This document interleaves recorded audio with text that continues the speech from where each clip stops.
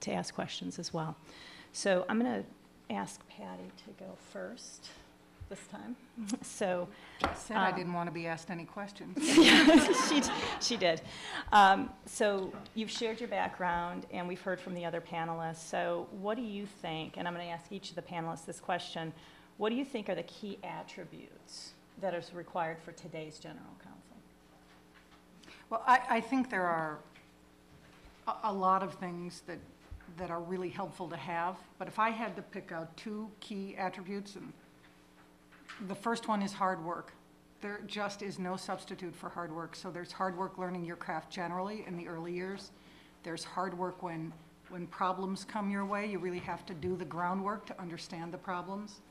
Um, I just, I, I, I, as we, as we talked in preparation for this panel, a lot of things that we talked about brought back that theme, that, that there's no substitute for it. And the second thing I think is, is also the thing you must have is good judgment. And uh, I guess I would say that I've met enough people, and probably you have, to know that not everyone is actually born with good judgment.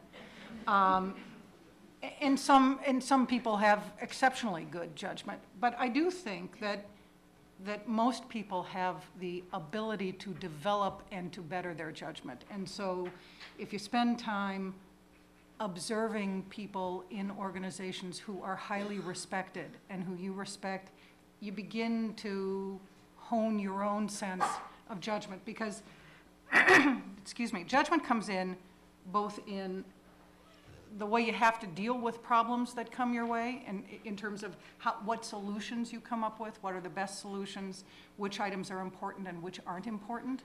Um, and also comes in a lot if you're in a general counsel role or another part of a team role in an, in an enterprise. Judgment comes up in how you sell what you need to sell to everybody else who's in that group with you. That's great. David, your thoughts? You know, I, I have seen over a 30-plus year career, so I'm always on the outside. I work for general counsel as a lawyer, and now general counsel are senior members of the uh, executive management team, and so we also work closely with them, even though I'm in a financial advisory role. But I have seen a huge evolution in the role of general counsel and, you know, my professional experience. So when I first started, many companies didn't even have general counsel. I mean, why do you need a general counsel? You've got a law firm, and you had kind of a monogamous relationship with the law firm. That's the way it used to work back then, and, you know, they kind of handled all the legal work. And then law firms realized that, you know, we, we kind of need, I mean, companies realized that we need somebody to kind of manage this stuff on a day-to-day basis. And so the position of general counsel was created. But it was more of a, um, uh,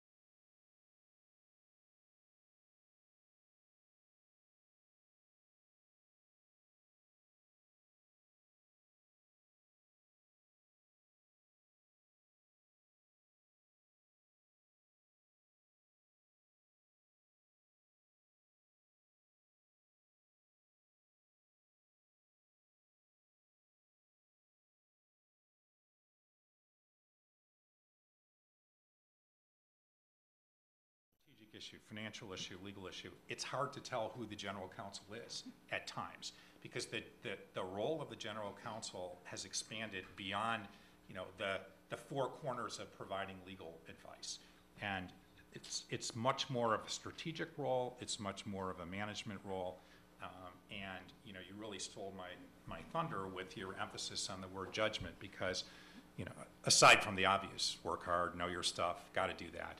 But, you know, what distinguishes those general counsel who are really superb um, from those who aren't um, are those who have this kind of innate ability to, you know, any problem that works its way up to sort of the top four in the company is by, by definition a tricky one. You know, if it was, if it was obvious, then those four people wouldn't be worried about it.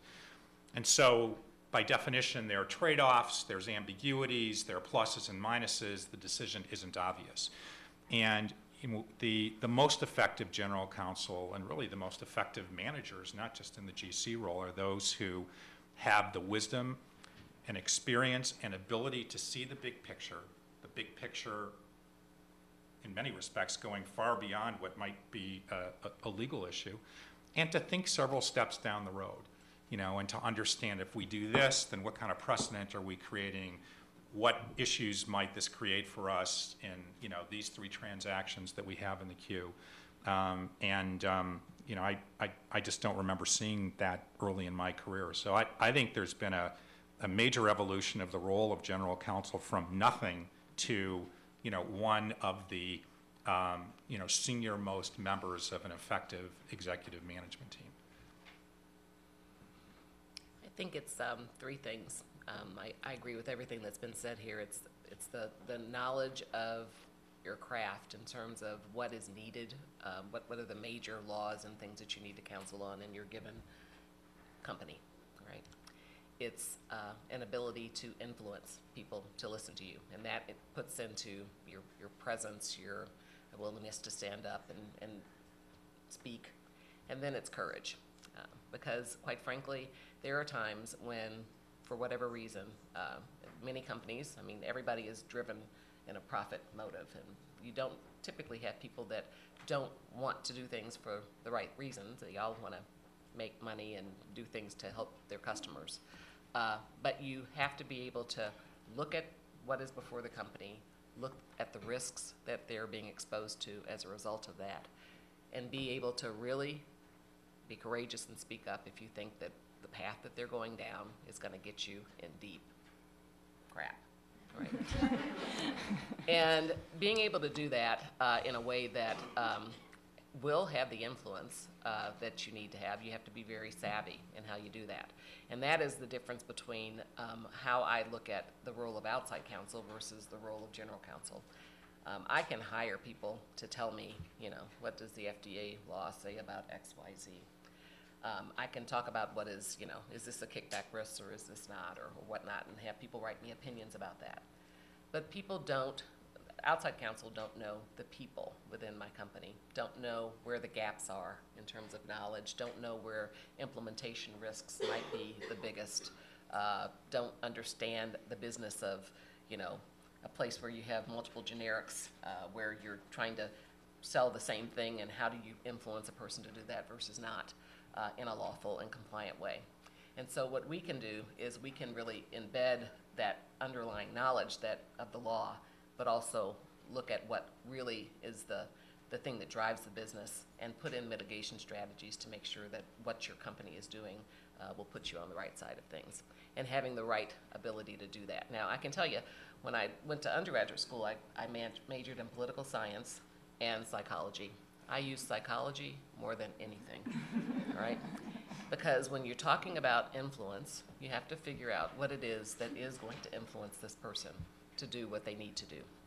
And to do that, you have to be self-aware of how, what your style is of influence and what is really gonna make a difference to this person, and to craft your arguments such that makes it very clear that that's the only thing that they can do, and it's something that they wanna do and that they care about. I, I want to, you raised such an interesting point because I think one of the things that we're called upon to do in these roles, mm-hmm. um, you raised the point about courage. You do have to be able to say no, but that has to be about a half a percent of the time. Mm-hmm. The rest of the time that you initially come to know, what you have to really be able to figure out is how to tell them yes, how to do it mm-hmm. in a different way, um, and, and get to yes. Although you do need the courage to say no when you know that no is the only answer. No, exactly. No, it's, and, and knowing your business enough to be able to ask questions to figure out how do you get to yes. A couple of follow-up themes. From my experience, um, I do think that influence is important, the ability to say no. And generally, in-house, if you, if your clients see you working in the trenches with them day in and day out and, and observe you um, working the 99.5% of the time, trying to get them to yes, um, and your creative energy around that and your passion and helping them solve their business problems, then when you do actually say no, they stop and they say, She said no. this must be serious. Um, if you constantly are an awfulizer and, and, and saying, Oh, the risk, um, then you know people either won't come talk to you or you know they, they will go around you. And so it's a very um, sensitive balance to demonstrate that that you're on their side um, but while keeping your objectivity uh, because that's our role. We have ethical responsibilities to do that. Um, i also want to talk just a little bit about what i think some competencies are. We, we hear the theme through this panel but it really is having not only broad-based experience in knowing your craft, but being able to take on different roles. If I look back about, you know, the different positions I've held and I put, uh, you know, a chart on the board or I whiteboarded my, my past, I can pluck from all my different experiences and piece together little things that helped along the way to help me be successful in a role. So when you're looking at a role um, that the company um, may ask you to take, pause think about it and see if you're if it's designed in a way that you can be successful um, doing that role. Um, that will and Laura talked about that in her remarks. Pick your boss, pick your employer, but also look at the role and make sure that it's designed in a way and that you have the right experience and the right team to help you. And then finally, I would say in terms of the general counsel role. Um, and, and, David did a great job talking about the evolution of the general counsel really over the last 30 years. If you look at the research and you really think about how general counsels have taken on a more prominent role in the company. I don't have any data like Laura did, I wish I did, but I, I'm, I have this hypothesis that I will throw out to the group here that where the general counsel sits in the company and who the general counsel reports to um, matters for the tone and culture of that organization. So if you're contemplating leaving a firm or you're contemplating going into a corporate career at a law school, the best advice I think is to look at where the general counsel sits. Does the general counsel report to the CEO? Is the general counsel part of the strategy and decision making team? Generally, uh, those companies are catching issues sooner. The legal function is valued. Um, one of my old bosses used to say, you know, we're just another business person. We just happen to wear a legal hat. And so that's really important. And, you know, not all companies are structured in that manner. So we thought it would be helpful advice to point that out to folks who are looking at general counsel jobs or even lower level in house jobs, because you could find once you get in that if the general counsel is really not a, a, a senior member of management, then that culture could, could not be satisfactory we're going to turn on to the next question, which is um, we know that, and we've talked about, that today's general counsel operates in a complex global environment. So, which requires strong risk analysis and risk management skills. Boards and senior management must take risk, and business is risk taking. This is an area where the general counsel plays an important strategic role, being the trusted advisor to help guide senior management and boards in making well reasoned, and this is key, risk adjusted strategic decisions that build value for the corporation and shareholders. And I'd like the panel to share with us some experiences in your career where you've added strategic value in the risk management sense. So, Paula, I'll turn it over to you 1st Mm-hmm. Well, I think uh, one of the times, and I think I added the most strategic value was when I um, was in Europe, and I uh, sat through business plans and had sat through I think, two business plans before this time. And I had learned uh, through work with a lot of the general counsels at the affiliates uh, that I supervised a lot about European law. Uh, one of the major challenges that we had at that time was there was a huge shortfall with what our plan was going to be versus what we, you know, thought we could really make. Um, and I sat there and I said, you know, there is a way for us to do something with our supply chain that could really uh, bring Hmm, maybe another $50 million to the bottom line. And we began devising a strategy where we could lawfully um, look at how we could do that within the bounds of antitrust law within uh, the EU. People were quite, you know, the legal group is bringing this up, and they're actually going to be a profit center. Um, but it was a, a strategy, a strategy that we devised, and then we looked at tactically how we would be able to do this. Uh, and it was really by looking at, you know, what did we need to make in each country uh, to supply uh, our products in those countries? How could we make sure that people within certain countries did make sure they had exactly what they needed to have in those countries to serve uh, the patients within those countries, but not necessarily uh, stuff that they could send to countries where we could get higher prices, uh, but not uh, do that. And so it was really uh, a, a way to, to listen and look at what the law was, how we needed to implement it very carefully to make sure that we were within the bounds of the law, but to use it to the company's um, competitive advantage. Um, And so we did that, and I can say that uh, we ended up, well, we got sued for it, but the, um, but we won. We won, and, uh, and it's still in place today. See, it was risk adjusted. Mhm, It Yeah, was. You did it up front. Mhm, yeah. that's right. Okay. Patty, you want to go Well, next? I, I can go back to something I talked about earlier, which is what I was called in to do when I first went to work for DeBartolo. And it's now far enough away and far enough past the statute of limitations that I can discuss it. Um, But th- they, they had a, a- they had an interesting issue because the, the patriarch of the family had passed away, and he had gotten estate planning advice, poor estate planning advice from a very good firm, but his estate planning, planning advice was, uh, was directed at his charitable impulses, which were enormous. And so when he passed away, his, there was a good portion of his estate that was placed into a charitable foundation, which is, which is a wonderful thing, not a great way to own a football team. Um, So I had to come in and and speak to a lot of experts and get ideas about conclusions and uh, about possible solutions, and then work through, you talked about getting to know your own client, work through what, what worked for us, and we ended up being able to come up with a solution that we implemented over several years that accomplished three things that were all important to the family. First and most importantly, we did end up um, eh, with a solution that enabled us to, to give literally millions and millions of dollars to, to a number of deserving charities. Um, Secondly, we ended up with um, ownership of the team back in the family.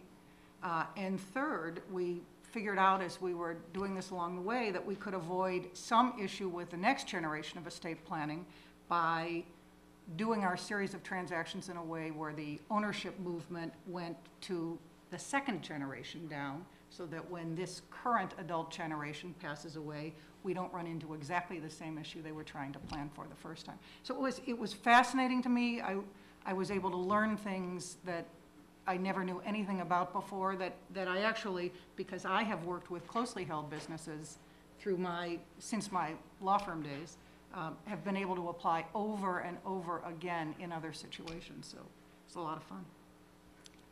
David, can you comment on this question? Well, never having worked in a company, I can't point to an example that, you know, I've been involved in. Um, But what I think I can comment on is, is, you know, what, what are the skills required to do it? And I think I want to go back to something that Laura said, because it- it's just such good advice that um, it probably bears repeating. And that is to, um, to, to make sure that you understand the numbers and make sure you know finance. Because business is numbers and business is finance. And you cannot be an effective advisor to a company if you don't understand the financial implications and the financial underpinnings of the issue that, um, you know, you are called upon to address. I- actually think that, you know, in addition to the, the guidance Laura gave you as to how one might go about acquiring the advice, which is, uh, excellent recommendations, I actually think it's, at least in my experience, because I didn't have any financial background at all when um, I graduated from law school. Now everything I do is finance, so I've completely reverse engineered myself.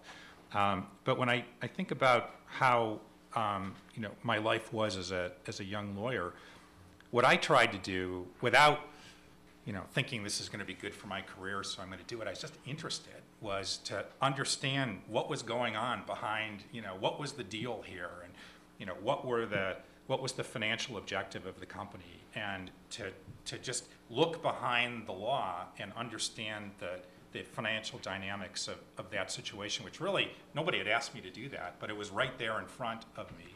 And I think that's a really great, effective way to understand finances, to make sure that you, you know, dig down deep below the law. And, um, you know, sometimes where you just don't get it, you ask the business people. And, you know, my experience is that they're only too willing to, to help it and explain. So I, I think the best way to have a strategic impact and to position yourself as a professional to, you know, be this senior executive str- strategic advisor to the company, in addition to everything else we've talked about, is to make sure that you have a very solid grounding in the financial dynamics of your company, because without that, um, you know, you're, you're very limited in your effectiveness. I'd like to say to that, um, I went to law school because I hated math, you know. And so it really, you know, I thought, my goodness. But it is so important. I have to echo what you're saying. And what I did uh, was I found a friend in finance who happens now to be our CFO. But he, when I we moved to Europe, I said, you know, I don't know, I don't understand all this stuff. You need to. He says, you know what? You ask me any stupid question you think from finance, and I'll do the same with you for legal. So you, I established a partnership with someone where I could say, okay, you need to help me understand this, and I did the same for them. And I think that if you can add, subtract, multiply, and divide, you can understand a balance sheet, so. Actually, the patriarch of Lazard, who, you know, is long gone, and I think it's really true, he said, you, all you need is a fourth grade understanding of math to do business finance. And I think that's absolutely true. You know, finance and math are two different things entirely. Mm-hmm. Mm-hmm. Mm-hmm. Early, early on in my career, someone who was a few years older than I mm-hmm. said to me, what you need to do is start reading articles in the, J- in the Wall Street Journal every day. She Great said, you, you advice. won't understand what they are when you start reading them, and, mm-hmm. and then, and you will never remember any of the numbers when you start reading them, because the numbers will sound so outrageous. But the more you read them, the more those subjects become familiar, and she was right. Great observations um, on that topic. Thank you. Our next topic, um, this is one I'm completely passionate about, so I've subjected the panel to this, um, is talent and retaining talent, growing talent, managing talent. Um, And I think it's just of strategic importance in, in our environment and into the future. So I think corporations who get that um, are going to be the winners in the end. And I think um, one place where companies can also look at their talent what um, is in the legal department more now than when I started in house counsel. I've had these conversations with HR that are along the lines of, tell me again why the lawyers aren't in the leadership development program. um, what's the reasoning for that? You want us to give great business advice, yet you are not arming us with the same tools that uh, your line uh, folks are. So um, I want to hear from the panel about um, talent management and development of talent in, in in-house legal departments, particularly global ones, because it's really a global fight for talent. I'm going to turn the question over to Paula, and I'm going to ask for follow-up from David on this one. Um, Talent development is, is key um, to the success of our, our company. If we expect people to be uh, the partners uh, with the business and to, to help the, the company be successful, we need to make sure that they are armed with the best tools possible. So when someone starts uh, within our um, legal department, we begin with um, assigning them a coach. Um, There's a, a peer coach, and then you all also always have, um, of course, the person that supervises them. But the peer coach is there because you need somebody that's gonna, you can ask the crazy questions to that you don't think is gonna be the one signing your evaluation at the end of the day. Um, and so we do that. Um, we also have a performance management system, which says that every year you establish what your objectives are for the given year. Uh, and that should be basically, you know, this is what I'm going to do, these are the tasks I'm going to do. But then a part of that is also, this is what my development plan is going to be in terms of uh, what I'm going to be when I grow up, kind of thing. Now, what that, what that means is you need to have a real discussion with folks around what is it that you really want, right? Not everybody wants to be the general counsel. Um, some people want to be very deep uh, in a given subject matter area, and we clearly need those folks that want to be deep in a certain subject matter area. Not everybody can lead the company. Some people um, can will be very happy doing other things, and others do want to do that. But you need to have that real dialogue with folks about what is it that really drives you and that you really want. And then once you have that discussion, you start laying out, okay, where are the gaps? Okay, that that's what you want. You want to be the next general counsel. these are the attributes that you need to have in order to do that, and then let's figure out how we're gonna, over time, make sure that you are equipped um, to, to do that. I can tell you the example that I had when I first, um, again, when I went to Europe. I, my, my, my goal when I went there, I was the second general counsel that went from, from Lilly, uh, lived in London there. My goal was to, when I, once I left, that really I didn't think we needed to have another U.S. general counsel. That we really needed to have somebody from Europe that could do this for, you know, the folks there in Europe. I mean, they could lead their group. I mean, why not? Uh, But that had never been thought of because we're a 130-year-old company and it's best, based in Indianapolis, Indiana, and that's where the connections are, and so the general counsel needs to come from there. I um, kind of, after looking and sussing up the folks that were there, decided I, there are two people here that I could see that I, I think, you know, with some development could be uh, the next general counsel. And I remember talking to the person who is now the general counsel for Europe, uh, and saying to her, okay, I, don't you think, she was like, oh, she thought I was crazy. There was no way that she could ever do this. I said, well, let's just kind of see what we can do here. And we just kind of laid out things of how she could uh, build her expertise, build her influencing skills, lay out experiences that she needed to have and master in order to feel that confidence that she would need to have uh, to do that. And I can tell you, within a number of years, we just talked, the other, she's like, "Oh, I thought you were crazy and you, you didn't know who you were talking to. But here today, that's what she does uh, for our company. That's a great story.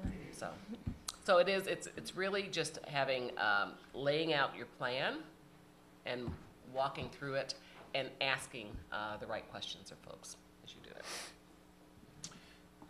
Uh, Talent development, talent maintenance is, um, you know, absolutely essential for any uh, professional services firm. I mean, you're only as good as your people. And, you know, we operate in a very competitive environment. There are many other firms who do what we do for a living, and so, you know, why do we win? Um, uh, We win because we have the best people and we have the best team. So it's, it's absolutely essential that, um, you know, we, we, we don't have a formal program. Um, you know, maybe we should be more formalized, although we're, you know, pretty small organization. Um, But you know who the people are who you want to keep, and we don't, we're not always successful. Sometimes you lose people that you wouldn't want to lose, but, you know, a huge effort is made to um, keep the job interesting and exciting for, you know, those who we want to stick around for a long time. I, I want to say a, a word along these lines um, about the subject of mentoring, which, um, you know, I, as I look back on my career, um, you know, it, it occurs to me that not only is, when you think about mentor-mentee relationships, and it's certainly good advice to find a mentor, latch on to a mentor. Um, but I, I think that as much as the um, mentee finding the mentor, the mentor finds the mentee. And that probably, if you really look at how these relationships begin, I bet it's more times that than the other. Um, and why is it? They're just, you know, certain people who stand out from the beginning. You know, they work a little harder, um, they care a little more about the job. And I don't mean necessarily that they're the ones who are there till nine o'clock at night, you know, sitting in their office to be there at nine o'clock at night. But these are the people who are inquisitive, who are energetic, who don't stay in their lane, who want to learn more about the business, who are making an additional investment um, in expanding their horizons. And senior people are attracted to, you know, the, the, the younger uh, individuals in the organization, and, and you want to help them. Um, and I think the flip side is also true. If, if, if you're, you know, a, a substandard employee, it doesn't matter, you know, how hard you try to, to, to latch on to someone as your mentor, it's not going to work. Um, and so I think it's, it's important to be strategic in terms of, you know, who you work for and who you attach yourselves to. But I think, um, you know, more times than not, just doing a great job, and, I mean, you gotta love being there. If you don't love being there, it's never gonna work. No matter how hard you try, if you get up in the morning and you hate your job, you're not gonna be good at it. Um, But if you, if you show the, you know, the enthusiasm and the dedication and the willingness to learn, and you have excitement for what you're doing, um, I think you'll find that, uh, you know, you'll have your choice of mentors. in most organizations.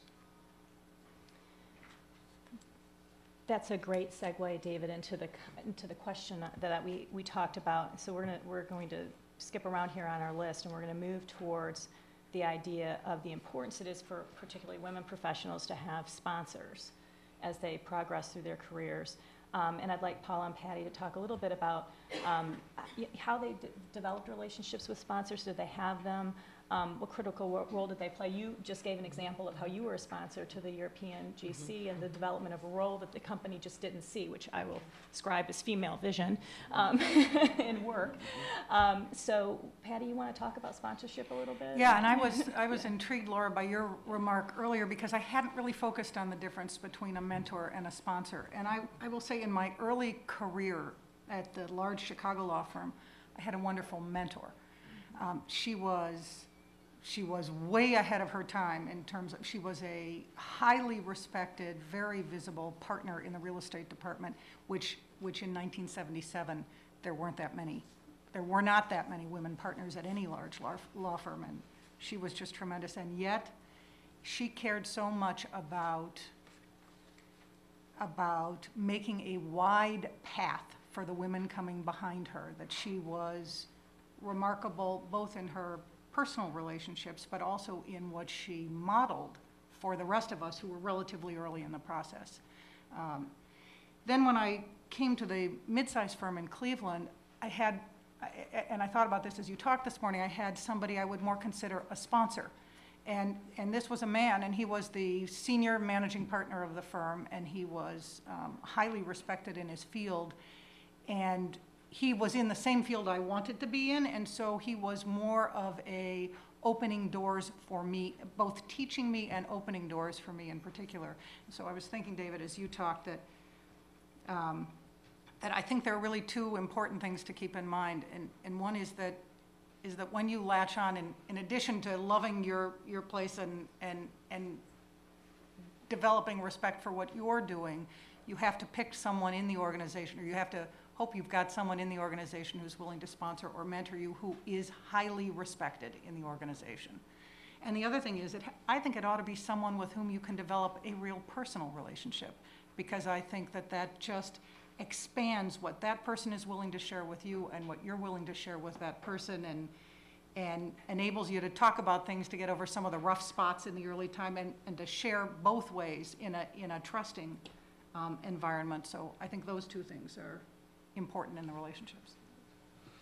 I told you when I joined Lilly that um, I started in litigation and quickly went to our animal health division. Um, Our animal health division, uh, or it was our agricultural and animal health division at the time. We sold that later, but now it's just animal health. But anyway, at the time we had both. And um, there were two of us. There was um, the general counsel and me uh, that were part of this company that were doing the legal services. Well, she, uh, her name was Becky Goss at the time. She um, later married, and it was Rebecca Kendall. Uh, it, she ended up being the general counsel for Eli Lilly and Company. Um, so I worked with her very closely as one of two uh, in that group, and so she did really pull me along every step of the way um, of her career. And how we did that was really a, a matter of developing a relationship. Of course, me doing the work and you know making you know the right choices and uh, counseling people as she would be happy that I would be counseling them. But along the way, just really becoming friends. Um, and not only uh, with her, but with others on the management uh, team as well. And how I did that was, quite frankly, not just, you know, it was really letting people see who I was as a person, stopping by people's offices and letting them know what my aspirations were, um, telling people, this is what I think I can do. Where do you see uh, that I can develop in this way? Um, being very clear and transparent about where I wanted my career to go and what jobs I thought would help me, but being open to the feedback uh, that they would provide to me in terms of what would be the best thing for me. Being very clear about what I didn't want um, as well. I think that that was uh, very important. And I can say by doing that, um, I always did get to do things that I wanted to do and never got to do something that I said, please don't ever put me in the bankruptcy department. It's all right. Yeah, I just, Actually, I think you would have been very good at it. you know, but, but, you know, just being very clear and transparent and letting people know and understand that. I think, um, I think a lot of the comments here go, I, um, Laura did such a great job setting this up today. Um, talking about self-awareness and understanding your strengths and weaknesses also help find an effective sponsor, and you want a sponsor who's going to tell you maybe what you don't want to hear. Because when you're in, in the moment and you're kind of self-absorbed, it's really sometimes hard to pull back. And a sponsor will often say to you, you know, you might want to consider this opportunity, or you may want to work on this in a way that you may not see. So that, I think they're critical to your professional development. We have 10 minutes left on this panel, so And you were Uh, worried whether we. I was worried, I admit, whether we were going to not have enough to say, and I was wrong. Um, So if, is everyone okay? Did you want to talk about any other comments before we move to questions? We're good? Okay. Good. Let's open it up for questions then from the audience, please. We're, we're happy to spend the next 10 minutes in a conversation. Don't be shy.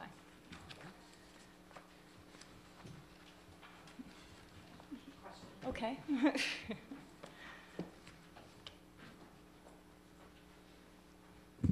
All three of these stories are, are really interesting. Patty, one thing though that intrigues me about your story is that you, you stepped out of both the law firm environment and, and for a while, the work environment. And that career path is one that a lot of women, I think, are exploring, but it, it makes us very nervous because we know we want to come back at some point and we're concerned that we won't be able to get back into the workforce. So I, I'm not sure if you can talk a little bit more about mm-hmm. That experience and um, just any words of wisdom you have. Well, I actually found in both of my maternity leaves that the, that coming back after three months off was a pretty hard adjustment. Not, I'm not talking about in terms of time, in terms of regaining my footing, in terms of having a sense that um, I, I was still on top of my game. So I, I noticed a little of that even before I stepped back. I'll say a couple of things about it. Um, One is that I, I never did entirely step out. And so that was a little bit of a help to me. I still kept two clients who knew they could reach me at home. I was on two corporate boards. I did a little bit of teaching at the law firm, so I never stepped out entirely. Um, and I think that was helpful. The other is twofold. And one part of it is that in, in all that you hear today and every place else and from your mentors and from your sponsors, you should be, you should be taking in all of this really good information and different opinions, but at some point, you really have to shut out the noise. And you have to, I, I would never, for a whole variety of reasons, I would never recommend to anybody that they take my career path, because it was so crazy and crooked that I don't know that anybody could duplicate, that I could even duplicate it again. But it's more because these are, the, the decision I made when I stepped back from practice was so intensely personal that I can never presume that someone would have all the same reasons or thoughts about it that I had. But what you do have to do is shut out, once you get all the information, you have to shut out all the noise and hear yourself think so that you make your own decision. And, and, and the other is it takes a little bit of blind faith. I just was kind of optimistic. I- It never occurred to me that I wouldn't be able to do something later on, and then something dropped into my lap. So I guess the, the final thing I would say about it is, you not only have to recognize there's luck that plays into a lot of this, um, but you have to recognize the luck when it happens. And when a lucky break comes, you have to sit back, recognize you, you've been handed a lucky break, and run with it. So, um, but, but again, I, I think the most important thing I've learned in all of my life is, is to quiet the noise. I agree with that, and what I'd say is always remember what is really important to you. If you don't know, figure it out, um, because you're gonna have to live with whatever choice you make. Um, and I can tell you that there were times when I was offered jobs that I wrestled with it, and oh my God, this would be a promotion, but my husband had just gotten a promotion, and that would not have really been good for him, you know, if I were to take this job and go off to Minneapolis right now. Um, and I made that choice. I said, you know, it's better for us because that was for me what was the most important thing. Then when it came time for me to be asked to move to Europe, you know what? I turned down jobs for him. He was saying, no, it's your turn. It's, you can do that. So it's really, for me, my family is what is my husband, and my family is what's most important for me. And from, I understand that there are choices that I might eventually lose from as a result of that, but I'm willing to live with that, um, because that's the right choice. Yeah, I, I, what I told people is, you know, I can get another job, I can't get another Sherman. That's it. right. And, uh, so, that's it, you I'm going to meet someday. I, I love So, Sherman already. That's it. So, and that's what you have to, you have to know. Any other, any other questions? Come up to the mic, please.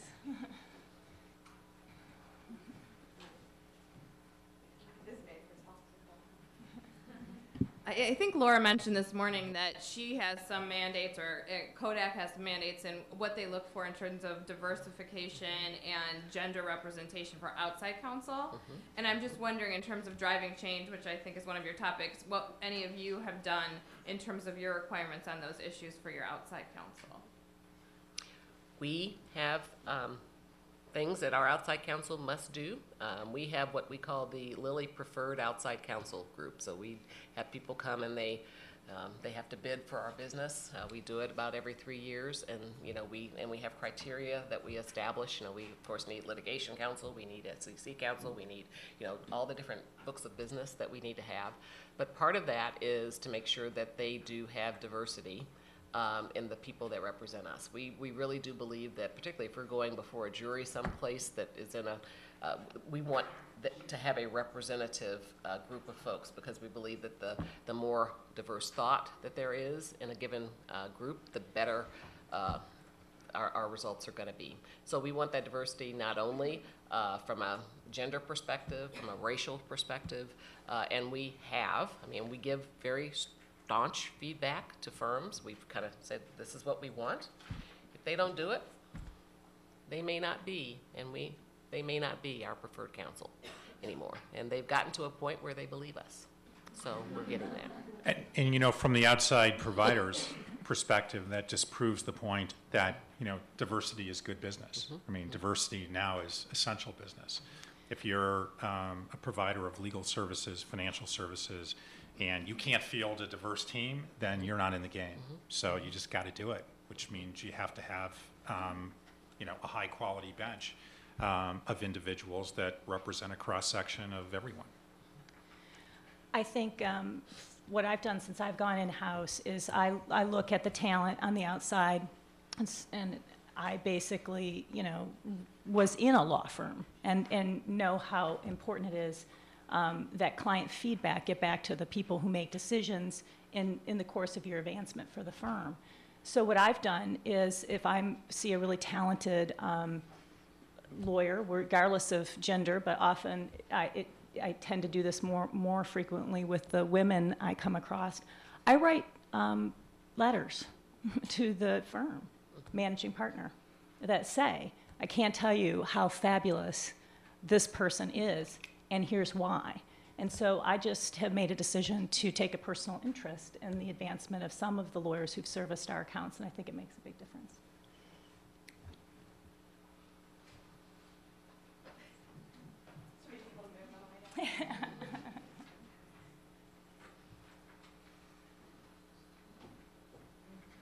You've um, talked a lot about mentorship and sponsorship at this point, but one of the things I found interesting for young lawyers in particular is the skill and the art of managing up effectively and strategically. And I wondered if each of you could just mention briefly some either instances or skills and strategies for managing up effectively.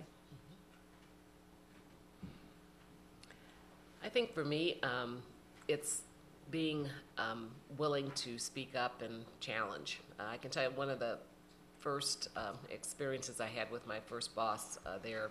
You know, you go in and you talk to your boss and you say, "This is a problem that we have," and, and I would try to start telling, you know, what I thought about this and how I'd analyzed, and she'd always kind of say, "Well, you do ABC." After about the third time, I said, "You know what? If I really didn't come in here with a thought, you should really fire me, right? And letting her understand that, you know, really I had a plan and you just kind of walked over me and didn't really want to listen to it, so really you should listen. But being willing to, to have that open and honest conversation with people, and if they are doing things that are maybe not, um, that are shutting you down or shutting down other people on the team, being that person um, that will actually speak up to that for folks so that they can, you know, kind of say, well, you know, that's right. Uh, but do it in a way that uh, is saying, I really want to really make sure that you don't have to do all the work and that people don't come back to you all the time. Really, I've, I've actually spent some time thinking through this and, and that kind of thing. So managing it up from that perspective and um, just, yeah, that's it. So, so I think that, yeah, I think that um, managing up involves a couple of things. Judgment, picking your battles, um, and, and picking the place you work. Because um, in order to be able to effectively manage up, you have to be comfortable speaking up. And, and so I actually had a situation at one point in my career in which the senior person was really destroying the atmosphere of the place. And I ended up, eh, eh, the, the organization had gone from one that I really enjoyed to one that I didn't enjoy quite as much. And, and I had a decision to make, and my decision was that I was gonna speak up about it because if it fell flat, I wasn't in the right place. And if it didn't fall, fall flat, maybe I could do some good. And he actually came back to me and thanked me for helping him understand that the way he was communicating with people was really detrimental to the whole atmosphere. So, yeah, I was lucky. Um, but, but I said, as I say, I think that you have to, it was a battle worth picking for me, and it was a battle that I figured I didn't lose either way, because either the place was improving or I was gonna find some new, nice new place to work. And if you're about the solution and about making things better, I think that that serves, you know, you can't be, uh, from, from my perspective, I don't mind people challenging, but don't just challenge. Come to me with some good things of how we're gonna fix this. Uh, and I think that that's the, the, the key to making sure that people see you as a change agent and someone that is wanting to do something positively to For the help whole business. organization, yeah. Any, any last words? Well, you, you know you're onto something good when each panel gets better and better and better. So thank you.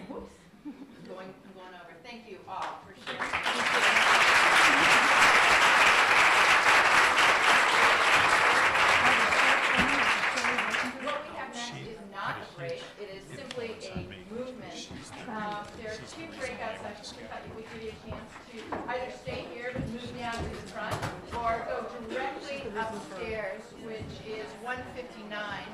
And